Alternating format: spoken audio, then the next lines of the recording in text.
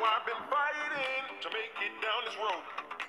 Feels like my mind is ready to explode. Somehow I manage to carry this heavy load through the rain, through the flames, and through the snow. Sky full of diamonds